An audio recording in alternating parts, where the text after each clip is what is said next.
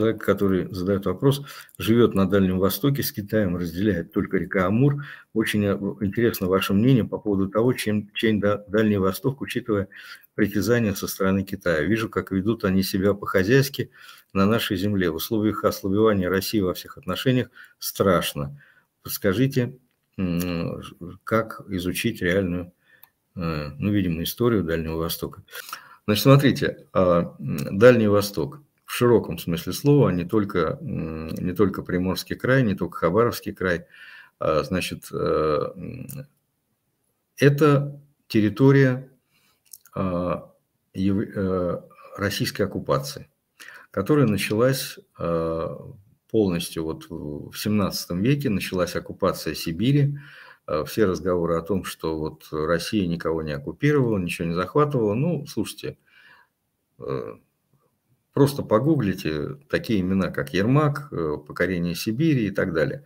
Э, очень интересный эпизод российской истории, который мало освещается, это знаменитые русско-чукотские войны, в которых Россия, российские казаки, российские войска оккупационные потерпели поражение. Мало кто знает, что русские не смогли завоевать Чукчи.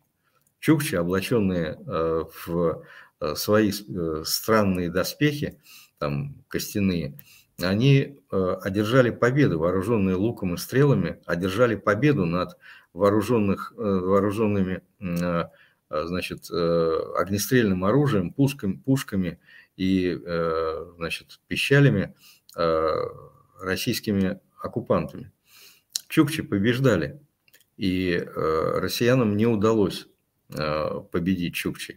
И в конечном итоге э, российские оккупационные войска перешагнули Чукотку и пошли дальше захватывать Америку, захватывать Аляску. Дальше мы уже говорим непосредственно о Дальнем Востоке в узком смысле этого слова, то есть там,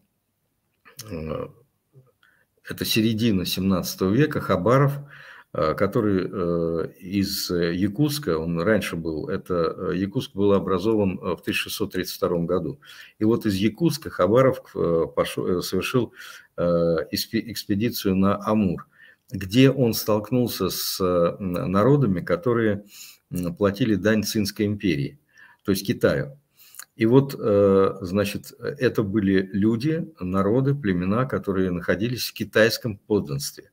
И э, Хабаров, э, значит, вот он, пытаясь захватить эти территории, населенные этими племенами, которые, по сути дела, были китайскими подданными, еще раз подчеркиваю, это была российская оккупация. Вот Хабаров – это времена царя Алексея Михайловича, Э, он э, пытался оккупировать э, племена, жившие вдоль Амура, в результате чего эти племена обратились к защитой, за защитой к цинским властям и в конечном итоге, так сказать, цинские власти смогли оказать им помощь и отбросить оккупационные войска России. Э, в лице Хабарова. Но э, очень повезло тогда России, потому что тогда империя Цин э, в 1840 году, через какое-то время, ну почти через там, несколько десятилетий после этого, оказалась втянута в то, в то, что называлось тогда Первая опиумная война, ну и сейчас это так называется, и то, что империя Цин тогда сражалась против объединенных сил Э, Англии и Франции э, ослабила эту империю, и в результате э, императором было уже не до Амура, в результате чего Российская империя активно приняла участие в разделе на глазах слабеющей империи Цин. То есть это вот такая история. Китай на сегодняшний момент а, ну, надо просто зафиксировать то, что в китайском восприятии истории выглядит все таким образом, что вся Сибирь, включая западную, вплоть до Томской области, это временно утерянные китайские территории. В книжных магазинах Китая можно увидеть карты пособия, в которых показаны российские территории, включая Приморье, Сахалин, Восточную Сибирь, как принадлежащую Китаю.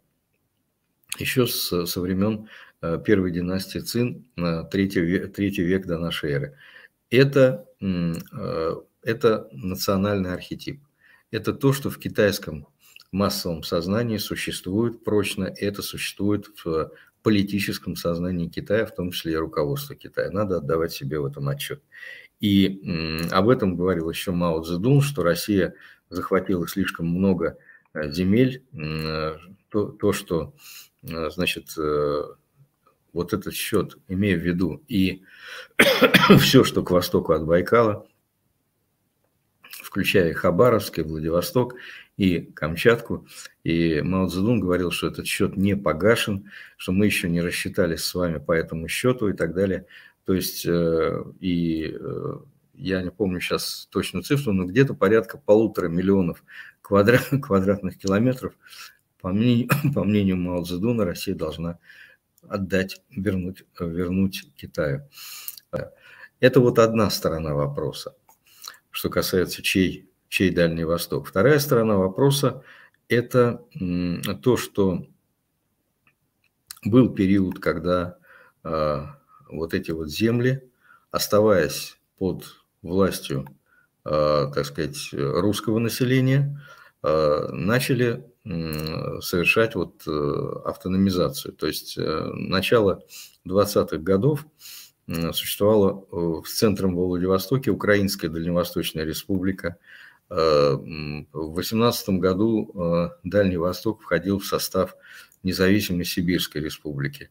Там была Забайкальская республика. Э, значит, в период начала 20-х годов существовала независимая Дальневосточная республика, которая включала в себя и Приморье, и Камчатку, Хабаровский край, и, ну вот, кроме, пожалуй, Якутии. Это была вот Э, независимая Дальневосточная республика. То есть э, был и такой период в истории Дальнего Востока э, независимости и от Российской империи, от Советского Союза, и от, ну, от Советской России, я имею в виду, Советского Союза тогда еще не было, и от Китая. Поэтому на вопрос, чей Дальний Восток, уважаемый коллега, я хочу ответить так. Юридически, конечно, Дальний Восток – часть Российской Федерации. Здесь сомнений нет. По международному праву он находится, э, является частью Российской Федерации. Дальше, что произойдет в результате поражения России в войне, в результате возможного, еще раз подчеркиваю, не обязательно, но возможного, э, э, так сказать, наступления смуты, гражданской войны и распада России, сказать сложно.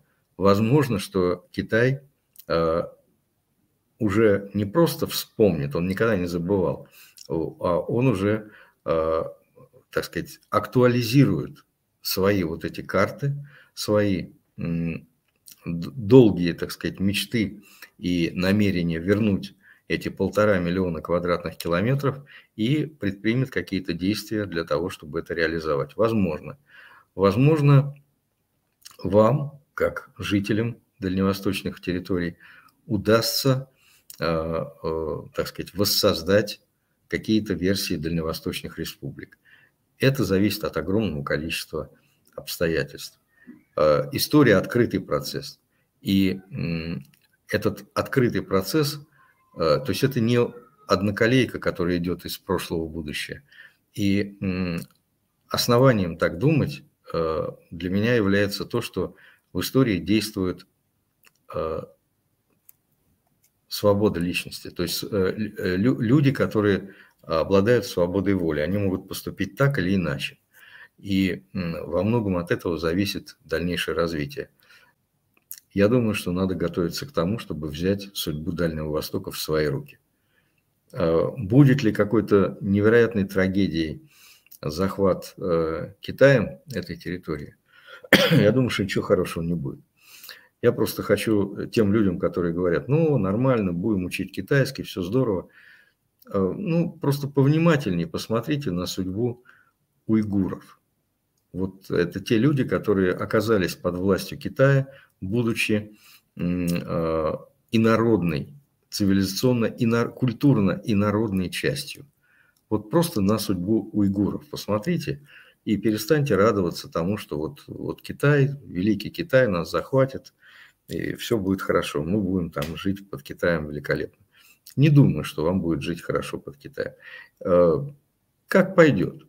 Поэтому вот просто приглядитесь к этому району, который, в котором проживает несколько миллионов уйгуров. И вот та трагедия, которую сейчас испытывает миллион уйгуров, находящихся в концлагерях, приглядитесь к этому.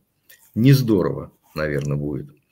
Мне кажется, что жителям Дальнего Востока есть смысл подумать о том, чтобы взять свою судьбу в свои собственные руки.